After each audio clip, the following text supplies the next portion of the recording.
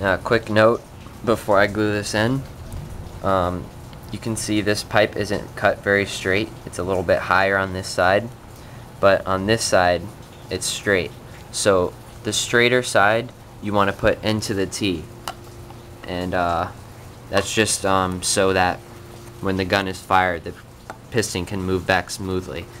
Um, so the straighter, the straighter side goes into the T. This side, you don't really need to sand it though. It's Nothing's going to be sealing on it. Just make sure this is cut straight. And so I'm going to glue this in now. Alright, so I glued in the piece of pipe into the T. And uh, quick note on, uh, it's going to push a lot of glue up around the pipe in there. So what you want to do is just kind of pick all that crap out so that nothing interferes with the piston. And I also uh, cut this a little bit better so it's a little flatter because that's going to help when you're operating piston valve. So now I'm going to go ahead and glue the female adapter on. Okay, I finished gluing all these parts together. Now you can see this little bit of crap that's on the inside of the pipe there. Now that's the same thing that's going to happen inside that. So once again you just want to pick it out with your fingernail and it's going to stain your skin a little bit. I have a little stain right there. But uh, yeah, make sure all the pipe in there is clean.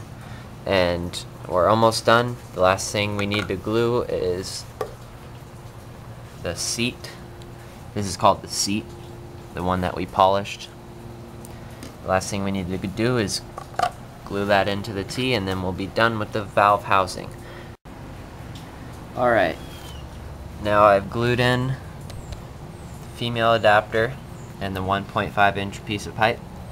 As you can see, it goes almost halfway into the T, which is good. You don't want it to go all the way, like halfway.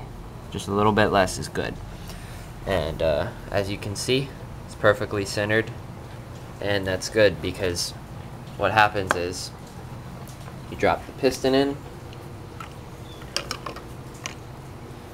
and shake it a little bit. And you can see that piston seals right up on the seat. Alright, and uh, one last thing you want to add in your piston valve is a bumper because when you trigger the valve this piston hits back with a lot of force and it's hitting back into PVC and if you don't have a bumper in there it's just going to break on the first shot. So what I like to use is a half a tennis ball. And what I'm going to do is cut a hole in the middle of it and then take out a little piece of it so it's small enough to fit inside the piston valve. And then uh, it's going to rest on this little fitting here. And when this screws in, it's going to provide a nice little bumper for the piston to hit against when it's triggered.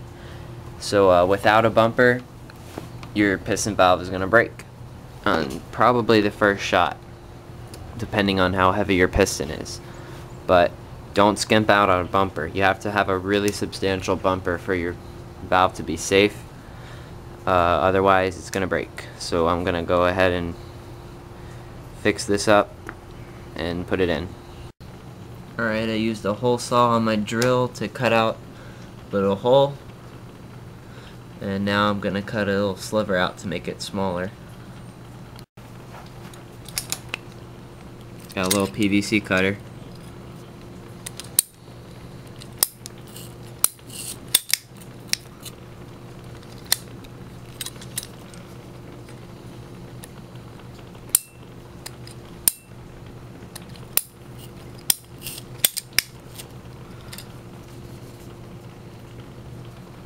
There's the bumper. So now, when you put the bumper in, gonna sit just just like that. And it's gonna be a nice soft landing for the piston. Alright so since this is the only part that I covered in the tutorial I didn't cover the pilot valve um, this is gonna be different for everybody who builds it. So what you need to do is leave me a comment and figure out tell just tell me what you want to use for your pilot valve and I'll help you figure out a whole setup for your pilot. And uh, but all this here is universal. This will work for anything. Um, I know there's a lot of other piston valve tutorials but there's only a couple other 2 inch tutorials and uh, this is the most simple setup. So uh, I hope a lot of people watch it and build this for themselves. It's a lot of fun and then uh, so for the chamber the air chamber is going to go in the bottom port of the T. Um, and what you can do is you can just use an elbow right here and then then you have your length of two inch pipe or maybe you want to use bigger pipe. It's all up to you whatever size you want to use. And uh, then you just cap the other end and then that'll be your air chamber and your barrel is going to go in here. So this valve, I designed it for golf balls. And this is a one and a half inch port here and it has threads and what do you know, golf ball barrels are one and a half inch thin wall. So if you want to shoot golf balls, go pick up a one and a half inch thin wall piece of pipe and the longer the better. Same with your chamber. Um, and get a male adapter put that on your barrel and thread it right into here. Finish up your chamber. Stick on your pilot valve which I can help you with and then you can go blow crap up. Alright so what I did what I did was put a one inch sprinkler valve that has been modified and uh, has a compressor quick connect on it. So you uh, connect the compressor open this valve and then the air is going to come in behind the piston which is going to be in the back position. And then it's going to push the piston into the barrel seal it. The air is going to come into the chamber. I'm going to trigger this valve and the air behind the piston is going to be exhausted.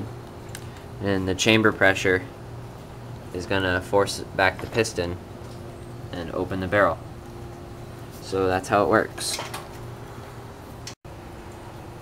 Alright, I hope this helps you build your piston valve. Uh, one thing I should say, this is not a beginner's project. You should only be building one of these if you have past experience with air guns.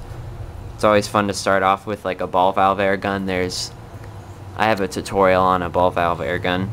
And so start with that if you haven't built any air guns before. But if you're experienced, then have a shot at this. And it's a lot of fun. So, uh, Hope you enjoyed watching and subscribe for more and thanks. Bye bye.